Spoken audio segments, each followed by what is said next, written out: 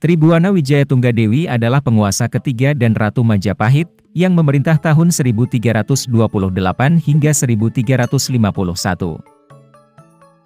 Dia adalah adik tiri Prabu Jayanegara. Dari prasasti Singasari diketahui gelar abhisekanya ialah Sri Tribuana Wijaya Tunggadewi Maharajasa Jaya Wisnuwardani. Nama asli Tribuana Wijaya Tunggadewi adalah Diah Gitarja. Ia merupakan putri dari Raden Wijaya dan Gayatri. Memiliki adik kandung bernama Diahwiyat dan kakak tiri bernama Jayanagara. Pada masa pemerintahan Jayanagara, ia diangkat sebagai penguasa bawahan di Jiwana, bergelar Bereka Huripan.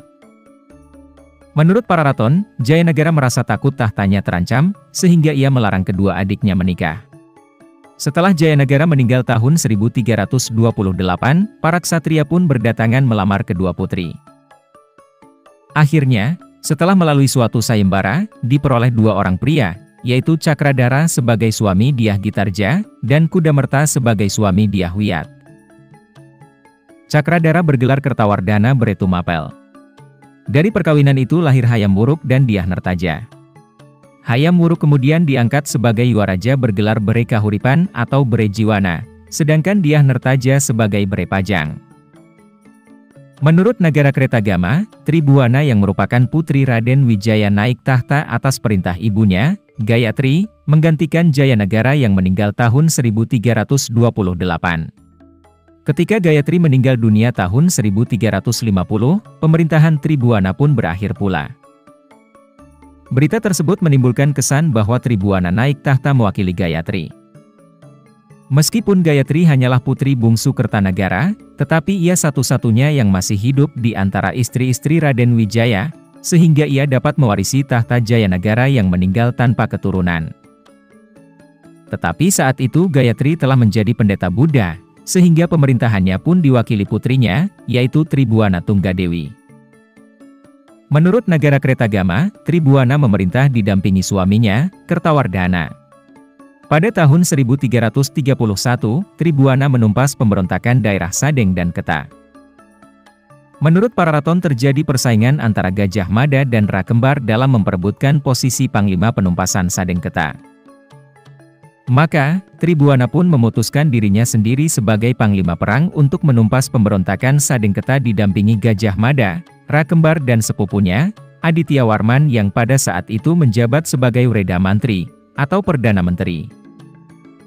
Purwadi dalam buku Sejarah Raja-Raja Jawa, Sejarah Kehidupan Keraton dan Perkembangannya di Jawa, menyebut bahwa jasa besar Tribuana Wijaya Tunggadewi adalah meletakkan dasar-dasar politik kenegaraan Majapahit. Naiknya Tribuana Tunggadewi ke singgasana Majapahit juga berimbas besar terhadap karir Gajah Mada. Sosok perwira muda ini langsung melejit berkat jasa-jasanya mengamankan negara, termasuk menyelesaikan pemberontakan Sadeng dan Keta yang masih menjadi bagian dari dampak kepemimpinan Jaya Negara. Berkat kesetiaannya terhadap negara juga kecakapannya, Gajah Mada langsung menjadi orang kepercayaan Tribuana Wijaya Tunggadewi. Pada 1334, Sri Ratu Tribuana menunjuk Gajah Mada untuk menempati posisi sebagai Rakrian Patih atau Mahapati, menggantikan Arya Tadah yang undur diri karena sudah merasa tua. Saat dilantik menjadi Mahapati pada 1334, Gajah Mada mengucapkan Sumpah Palapa. Ia berikrar pantang merasakan kenikmatan duniawi sebelum berhasil mempersatukan Nusantara di bawah naungan Majapahit. Era Tribuana Wijaya Tunggadewi memang merupakan masa di mana Majapahit mulai melebarkan sayapnya hingga keluar Jawa. Tahun 1343, misalnya seperti dinukil dari buku Sejarah Kebudayaan Bali 1998 yang disusun Supratikno Raharjo dan kawan-kawan, Kerajaan Majapahit menaklukkan Bali. Berikutnya, giliran kerajaan-kerajaan di kawasan lain di luar Jawa yang ditundukkan oleh Kerajaan Majapahit, di bawah komando Mahapatih Gajah Mada atas perintah Sri Ratu Tribuana Tunggadewi. Peristiwa penting berikutnya, pada tahun 1334, dalam Pararaton adalah Sumpah Palapa yang diucapkan Gajah Mada, saat dilantik sebagai Rakrian Patih Majapahit menggantikan Patih Amangkubumi, Arya Tada. Gajah Mada bersumpah tidak akan menikmati makanan enak, sebelum berhasil menaklukkan wilayah Kepulauan Nusantara di bawah Majapahit. Pada tahun ini juga Hayam Wuruk lahir. Pemerintahan Tribuana terkenal sebagai masa perluasan wilayah atau ekspansi Majapahit ke segala arah, yang dipimpin oleh Gajah Mada sebagai pelaksanaan Sumpah Palapa. Pada tahun 1343, Majapahit mengirim Arya Damar, mengalahkan Raja Kerajaan Pejeng, dalam Bedahulu dan kemudian seluruh Bali. Pada tahun 1347, Aditya Warman yang masih keturunan Melayu, dikirim untuk menaklukkan sisa-sisa kerajaan Sriwijaya dan kerajaan Melayu.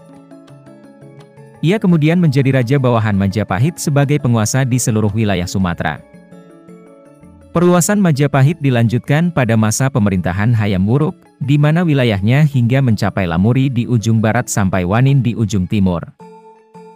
Menurut negara Kertagama, Tribuana Wijaya Tunggadewi diperkirakan turun tahta tahun 1350, bersamaan dengan meninggal dunianya Gayatri.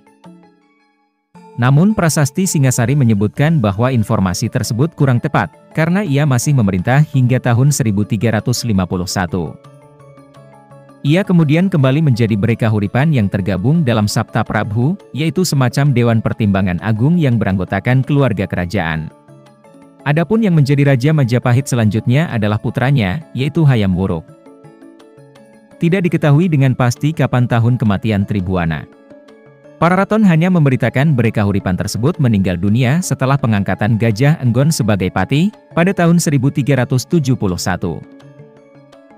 Menurut para raton, Tribuana Tunggadei didarmakan dalam Candi Pantarapura yang terletak di Desa Panggih. Sedangkan suaminya, yaitu Kertawardana Beretumapel meninggal tahun 1386, dan didarmakan di Candi Sarwa Jayapurwa, yang terletak di Desa Japan.